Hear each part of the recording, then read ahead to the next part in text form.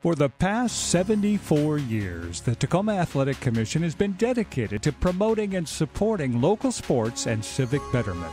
The TAC was responsible not only for the successful passage of the Tacoma Dome bond issue, but they also created the Grid Go Round, Hoop Go Round, and Diamond Go Round events, hosted the annual 4th of July show in the 50s, sponsored Harlem Globetrotter appearances, purchased scoreboards for local high schools, and have hosted the annual Golden Gloves boxing event since 1949. And at the Athlete of the Year, Tom Names Salute to Sports Banquet, the Names family annually offers $35,000 in TAC student athlete scholarships. Yes, the TAC has come a long way, baby, since their beginning in 1942. Thanks to Clay Huntington, founder of the Tacoma Pierce County Sports Hall of Fame in 1957 and the State of Washington Sports Hall of Fame in 1960. The TAC proudly maintains that commitment of honoring individuals for their athletic achievements, so let's meet our first group of honorees. To make sure there are no arguments about tonight's selections, we thought it best to first recognize those who are considered the arbiters of the laws in sports. The Excellence in Officiating Award, sponsored by the Connolly Law Offices presented annually to active officials in Tacoma Pierce County who have made a significant contribution to the betterment of officiating. So, if you are unhappy with any of our selections tonight, take it up with them. This year's officials being recognized include baseball umpire Phil Taylor, girls basketball referee Kevin Walk, boys basketball referee Tony Sheeler, Football official Ron Anderson. Soccer referee Cy Palmer. Softball umpire Bruce Ledbetter. Volleyball referee Lenny Lanos. Wrestling official Randy Holberg. And track and field official Kathy Sanderson. This year's recipient of the Frosty Westering Excellence in Coaching Award is Kevin Aoki, head volleyball coach at Pacific Lutheran University. This award recognizes commitment to excellence and devotion to the personal growth of his student athletes, a trait that Kevin has adhered to during his 20 seasons at PLU. During that time, Kevin has amassed a record of 360 161, including nine Northwest Conference titles and 10 NCAA Division III regional appearances. To borrow a well known phrase from the lovable Coach Frosty, Attaway.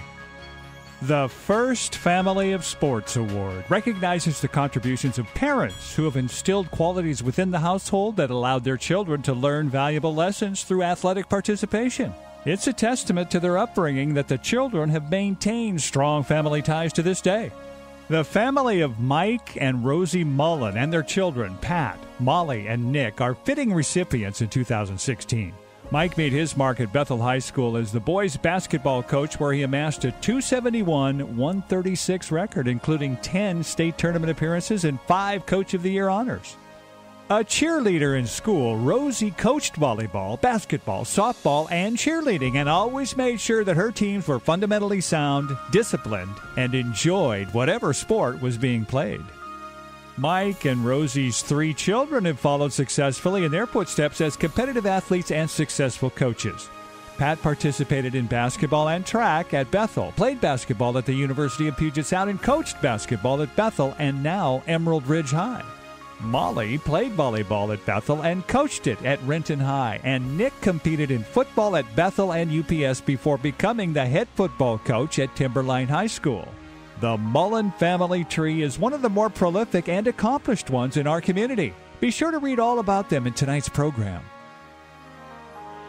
What do you get when you pair up an 86 year old and an 87 year old together? Besides severe hearing loss, you get two of the most energetic and passionate individual sports figures that have ever lived in our community.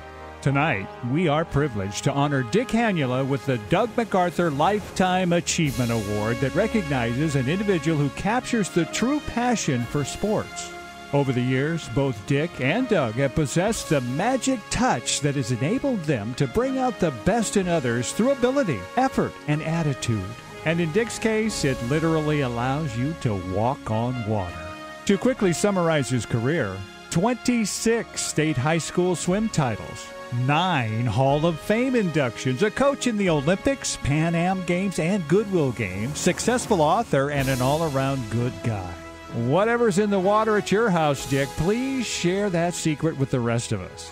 Speaking of Dick, it is only fitting that we have a well deserved award named after him, and we are pleased to recognize three outstanding individuals with the Dick Hannula Amateur Athlete of the Year Award. Co winners of the Female Amateur Athlete of the Year are recent Curtis High School graduate Morgan Weaver, who will take her soccer skills to Washington State University, and Jenna Mullen, who just completed a successful volleyball season as a freshman at Portland State University. Morgan is a three time SPSL MVP and News Tribune All Area Player of the Year in soccer, who scored 93 goals during her high school career. Following an outstanding high school volleyball career at Emerald Ridge High School, Jenna ranked ninth in the league in kills and was named the Big Sky Conference's Outstanding Freshman. And if the last name of Mullen sounds familiar, yes, she is part of the Mullen family tree.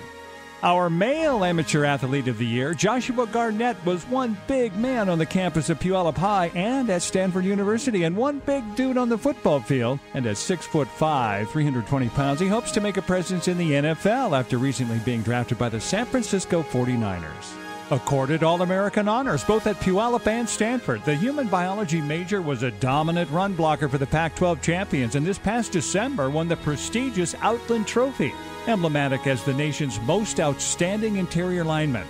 What can you say about that other than that's pretty outstanding?